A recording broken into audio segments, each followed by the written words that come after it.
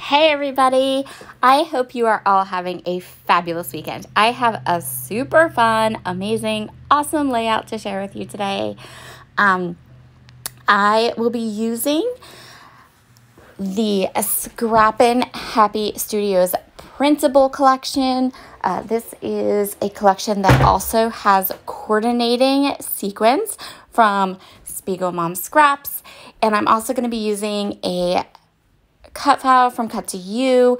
This video and this project is just lots of things I love all together. I am going to start by backing my cut file. So I cut some of the papers from the Scrappin' Happy Studio Printable Kit at 12 by 12, but then I also cut a bunch to be somewhere around 8 by 8, and that kind of shrinks the patterns, and that's going to allow me to go ahead and back my cut file with all these beautiful patterns. Now this cut file from Cut to You is part of one of her kits. So with the kit, you get the cut file, but then you also get this whole printable sheet of instructions to create a layout. I didn't follow the instructions at all. Um, I probably have in the past a little bit, but for the most part, I buy it for the cut file and I look at the designs. Um, and Gwen's designs are always stunning and beautiful.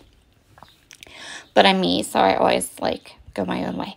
Um, so I'm to go ahead now and back each of these little cut file pieces. I'm not going to make you watch it, uh, but you can kind of get an idea of how I did this. I alternated the patterns. I backed all these little pieces with this beautiful papers from Scrappin' Happy Studio. Um, and then I'm also going to pull in all the sequins. I'm going to pull in some more Scrappin' Happy Studio flares, all the good stuff. This video is all the good stuff. Once I had my cut file backed, I wanted to zhuzh it up a bit. I wanted to add all lots of just fun little details to make it amazing. So the first thing that I'm going to add to section, so I'm going to add, um, I did a lot to this cut file. I'm trying to like figure out what I did first. um, okay, so I guess I started by adding some flair. So there are these open pieces that are like the cards from your craft cart, and I went ahead and added some flair to different areas of my cut file. So in addition to each of the little flair clusters, I am also adding in a little sparkle of sequins. I love this sequin mix that Jody designed. Um, so I will leave links down below. I'll link to the Spiegelmom Scraps shop where you can pick up the sequin mix. I'll link to Scrappin' Happy Studio, which is where you can grab the um, printable kit and also all the beautiful flair that I used. And then I will also link up the cut file. So you will have all the links down below. Okay, so Oh, and I also pulled out some Nuvo drops. I just added it to two little sections of the cut file because they were kind of like the book plates for the book, and I wanted them to look different than the patterns behind the books, but um, I didn't want like a sequin or circle or anything there. So I just filled in that area with uh, some opaque Nuvo drops that coordinated with the rest of my pattern papers. And then some of the uh, cut file pieces I filled in with, um, it's a Nuvo drop. It's called Morning Dew, but it's like glossy accent. So it's just clear. There's no color to it or anything. And it's glossy. And I did that for things like the water bottle or the water jar of, with paintbrushes in it and stuff like that. Turned out super cute. I told you. Oh, I added them to the wheels too. So I told you I did a lot to this cut file. I really, really spiced it up.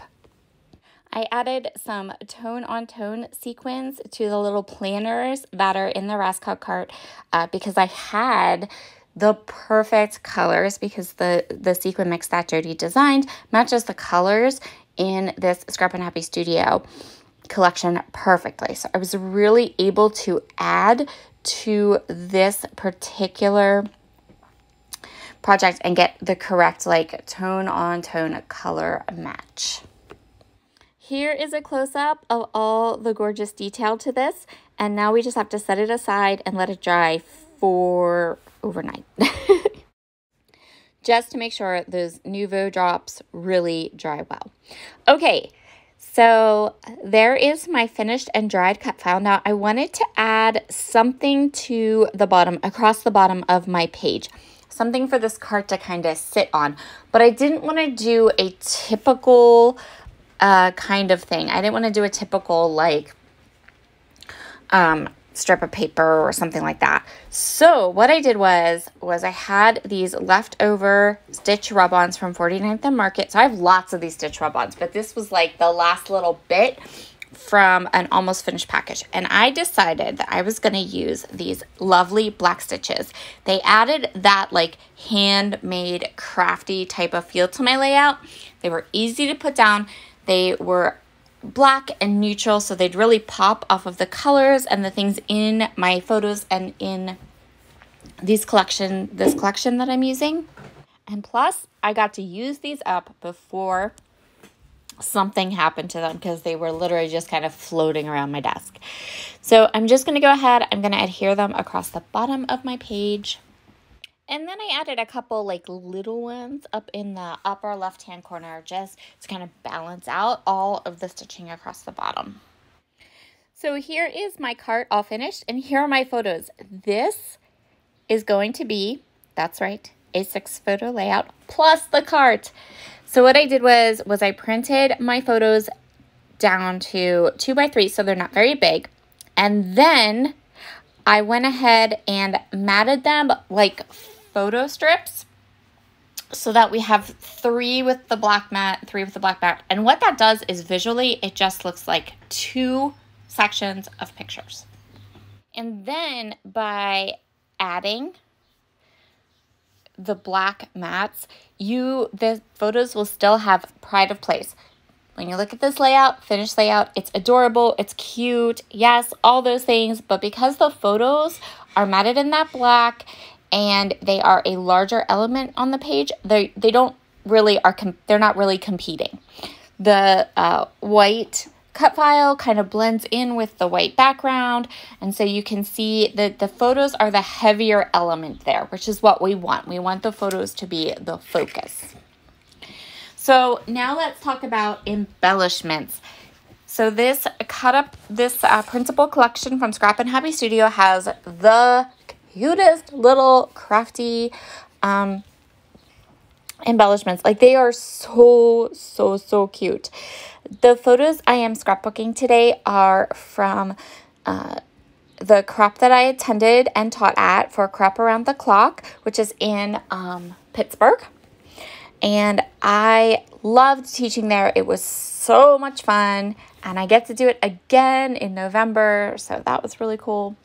Um, so what I'm going to do is I'm going to go ahead and kind of choose some of the embellishments that I think will fit in nicely with my page. Uh, I do end up kind of cutting out a couple more. You can see how these, they, they arrive to you as an 8.5 by 11 sheet, so you can just print and fussy cut, or you can print and then kind of set it up for your silhouette to cut them out for you too if you want. So once I fussy cut my clusters, kind of decided how I wanted to layer them up. I'm going to go ahead and place them on my page. And um, I'm going to pop up some of the elements with some tabby dots. Love tabby dots. They are also available in the Spiegelmom Scraps shop. I left a couple bits hanging over the edge, so I'm just going to trim those off. And I'm to add just a last little sprinkle of sequins because sequins. Um, I'm to add them around these cute little clusters. And then we are to call this layout all done. Here are all of your close-ups. Have a wonderful, wonderful day, and I will talk to you all again soon. Be sure to check out all the links below down in the description box. I always love to hear your comments on my uh, projects and a thumbs up or hitting the subscribe button is always helpful. Thanks. Bye.